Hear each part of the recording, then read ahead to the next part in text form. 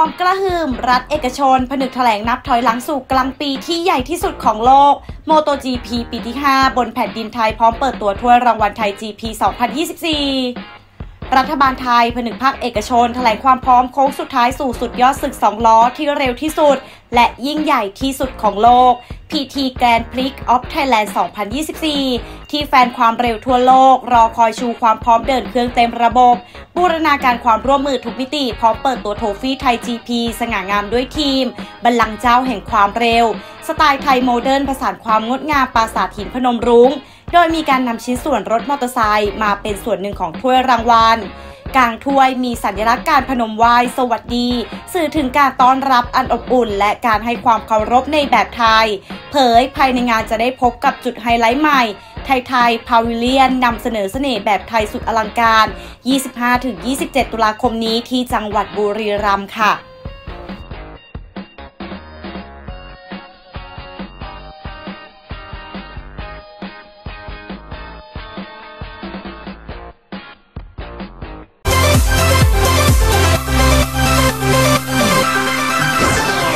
มอเตอร์จีพีวิถีไทยนะครับ ก็แสดงความเป็นเอกลักษณ์ไทยนะครับ อย่างเช่นทุกๆ ปีที่ผ่านมา MotoGP จะเห็นว่าเป็น MotoGP ที่มีความแตกต่างจาก MotoGP ในสถานประเทศอื่นๆ นะครับเราก็จะมีการพูดถึงนะครับในเรื่องของการใช้ศิลปะวัฒนธรรมของประเทศไทยนะครับใช้หนุมานนะครับหรือว่าชัตเตอร์แตนนะครับเป็นสิ่งที่โฆษณา soft power ของประเทศไทย ในปีนี้ก็เช่นเดียวกันนะครับในเรื่องของคอนเซปต์การออกแบบของถ้วยรางวัลก็ใช้เรื่องของไทยนะครับเห็นว่าเป็นลักษณะที่เราเป็นเอกลักษณ์ของประเทศไทย และเอกลักษณ์ของบุรีรัมย์ด้วยนะครับซึ่งก็เป็นที่ยอมรับว่าในประเทศต่างๆ ที่มีถ้วยแบบนี้เนี่ยผมเชื่อว่าของเราเนี่ยน่าจะสวยงามที่สุดในโลกในบรรดาทุกสนามนะครับก็อันนี้ก็เป็นเครื่องการันตีนะครับว่ารัฐบาลนะครับมุ่งมั่นตั้งใจนะครับในการที่จะทำให้กีฬามามาผนวกกับเรื่องของการท่องเที่ยวมาผนวกกับเรื่องของวัฒนธรรมประเพณี และเรื่องของซอฟต์พาวเวอร์ประเทศไทยครับคือในปีที่แล้วนะครับมูลค่าทางเศรษฐกิจอยู่ประมาณ 4,000 500 ล้านนะครับ แล้วก็ตัวเลขผู้คนเนี่ยก็เกือบเกือบจะ 200,000 คนนะครับ ประมาณ 180,000 กว่าคนนะคราวนี้เนี่ยมีการเตรียมความพร้อม มีการบรูรณาการการทำงานนะครับตามนโยบายของท่านรัฐมนตรีว่าการกระทรวงการท่องเที่ยวและกีฬา ท่านสรวงศ์ เทียนทองนะครับในการที่จะเน้นให้การจัดครั้งนี้เนี่ยเป็นลักษณะของ festival นะครับคือไม่ใช่เฉพาะมีแต่การแข่งขันกีฬาเท่านั้น แต่จะมีเรื่องของความบันเทิงเรื่องของการซื้อขายนะครับเรื่องอาหารนะจะเห็นว่าคราวนี้เราก็ยังเช่นเดิมนะครับก็จะมีการจัดเรื่องของความบันเทิงเรื่องของดนตรีนะเชิญชวนนักท่องเที่ยวทั้งในประเทศและต่างประเทศนะครับ โดยที่เมื่อปีที่แล้วนะครับตัวยอด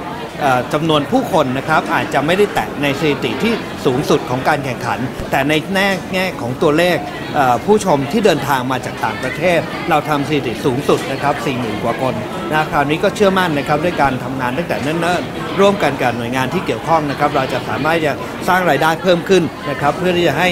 ทุกอย่างนะครับหมุนเวียนเศรษฐกิจหมุนเวียน แล้วก็เป็นประโยชน์กับพี่น้องคนไทยมากที่สุดครับ ก็กิจกรรมในแง่ของทาง PTG เองปีนี้เราก็เป็นปีแรกของเรานะครับ ก็ ก็คงต้องต้องต้องต้องต้องเรียนรู้จากสิ่งที่ผ่านผ่านมา ร่วมกับทางด้านของผู้จัดงานท่านอื่นๆนะครับ ก็ต้องขอการรับประสบการณ์จากท่านอื่น ๆด้วย แต่ด้วยความที่เรามุ่งมั่นนะครับ แล้วก็ทางพี่ๆนะครับ เพื่อนๆทั้งหลายก็ได้ให้คำแนะนำกับทางเรา เราเองก็เตรียมความพร้อมนะครับในแง่ทางด้านของตัวพาวิเลียนของเรานะครับไม่ว่าจะเป็นกิจกรรมที่สุดพิเศษ e x c l u s i v e นะครับแล้วก็ทางด้านของอพวกโปรโมชั่นต่างๆ ที่เรามาเตรียมเอาไว้ในเครือของสินค้าของทางกลุ่มบริษัท PTG นะครับเองแล้วก็สินค้าของทางด้านผู้สนับสนับสนุนรายอื่นๆนะครับที่เราจะนำเข้ามาจัดจำหน่ายในราคาพิเศษให้กับชาว มอเตอร์ GP ทั้งหลายนะครับที่เข้ามาร่วมชมนะครับ ซึ่งในแง่ของกิจกรรมต่างๆเนี่ยผมคิดว่าก็อาจจะไม่แตกต่างจากปีที่ผ่านมามากนัก แต่ในแง่ของทางด้านของความที่เป็น Exclusive เนี่ย PTG เองเนี่ยก็แน่นอนฮะเราก็พยายามที่จะทำอะไรที่มัน Go for Max อยู่แล้วนะครับ ซึ่งตรงนี้ก็คงต้องอพุกไว้ก่อนนะครับว่ามันจะมีอะไรที่สร้างความตื่นเต้น นะครับและร้าวใจให้กับชาวมอเตอร์ GP สมกับได้มาดูมอเตอร์ GP จริง ๆ ครับ ก็ถ้าพูดสั้นๆ แล้วกันเพราะอยากให้ทุกท่านได้ไปไปดูกันเองนะครับ ก็เป็นการต่อยอดจากเอ่อปีก่อน MotoGP วิถีไทย ก็เป็นโซนใหม่ในลานกิจกรรมของเรา ซึ่งก็จะมี โปรโมทเรื่องวัฒนธรรมของเราหัตถกรรมของกินของฝากก็อาจจะมีโฟกัสสู่ชาวต่างชาติมากกว่านิดนึงเพราะผมก็อยากให้ชาวต่างชาติได้เห็นว่าคนไทยนี่มีของหลายอย่างที่น่าสนใจสนุกสนานสวยงามหลายอย่างก็ประมาณนั้นครับอยากทุกท่านมาชมกันมามามาสัมผัสบางคนไทยบางคนอาจจะยังไม่เคยเห็นอะไรอย่างนี้ด้วยซ้ำก็อยากเชิญชวนมาดูครับกับสิ่งที่ช้างเตรียมให้สำหรับแฟนมอเตอร์สปอร์ตนะครับก็อันแรกเลยก็เป็น ช้าง Shuttle Station นะครับก็เป็นสถานีรับส่ง shuttle แต๋นนะครับที่เป็นวิสัยทัศน์ของคุณเนวินที่ทำไว้ตั้งแต่ปีแรกนะครับก็ก็เป็นรถ shuttle แต๋นที่เป็นเอกลักษณ์ของทางท้องถิ่นนะครับในการรับส่งแฟนมอเตอร์สปอร์ตเข้าสู่สนามนะครับแล้วก็ยังมีเรื่องของสิทธิ์ลดลด 20%นะครับในการซื้อบัตรที่เป็นสำหรับสมาชิกของช้าง International Circuit Fan Club นะครับ แล้วก็นอกจากนั้นเนี่ยตลอด 3 วันนะครับทางช้างก็มีเตรียมความบันเทิงนะครับอย่างเย็นวันแรกหลังจากที่จบการแข่งขันนะครับเย็นวันศุกร์ก็จะเป็นคอนเสิร์ตนะครับของยังโอม แล้วก็ก้องห้วยไร่นะครับแล้วก็ส่วนวันที่ 2 วันเสาร์เนี่ยพอแข่งจบแล้วนะครับก็จะมีมวยไทยวิธีถิ่นไทยนะครับซึ่งจะมีคู่เอกคู่เอ่อคู่เด็ดๆเลยนะครับเจ็ดมวย 7 คู่ นะครับแล้วก็ปิดท้ายด้วยคอนเสิร์ตของจ๊ะนงพนีนะครับแล้วก็ปิดท้ายวันสุดท้ายนะครับหลังจากจบการแข่งขันแล้วนะครับก็ยังมีคอนเสิร์ตของแจ๊สสปุตนิกปาพิยองกุ๊กกุ๊กนะครับครับก็ต้องเชิญชวนพี่น้องคนไทยนะครับ เพราะว่าตอนนี้เนี่ยบัตรเริ่มขายไปค่อนข้างที่จะเยอะแล้วนะครับ แล้วก็มีบัตรเหลือน้อยลงเต็มทีนะก็อยากให้แฟนพันธ์แท้นะครับไม่อยากให้พลาดนะครับ เพราะว่าบรรยากาศแบบนี้ในปีหนึ่งนะครับ ประเทศไทยมีการจัดมหกรรมกีฬาที่ยิ่งใหญ่ที่สุดก็คือ MotoGP ครั้งนี้นะครับ เพราะฉะนั้นไม่อยากให้ผู้ใดพลาดนะครับ ก็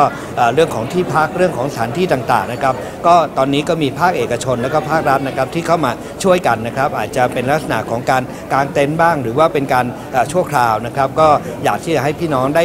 ร่วมกันนะครับแล้วก็วางแผนแต่เนิ่นๆ โดยเฉพาะเรื่องของการเดินทางนะก็ได้รับความร่วมมือนะครับจากกรมการขนส่งทางบกด้วยนะครับก็จะได้ดูแลในทุกวิถีทางนะก็ในนามของรัฐบาลก็เอ่อยากที่จะให้พวกเรานะครับร่วมกันเป็นเจ้าภาพที่ดีให้กับต่างประเทศนะครับได้เห็นว่า